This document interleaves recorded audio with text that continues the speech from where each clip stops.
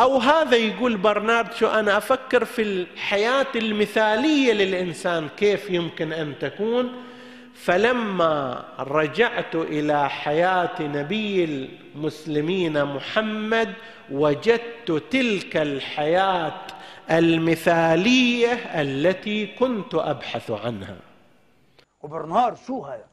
لو تعرف قليلا على جانب يسير من هذه العظمة التي لا يحيط بها إيه؟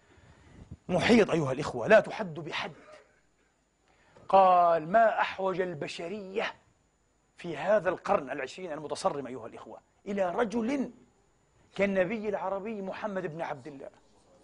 يحل لها مشاكلها كلها من عند آخرها وهو يحسو فنجانا من القهوة.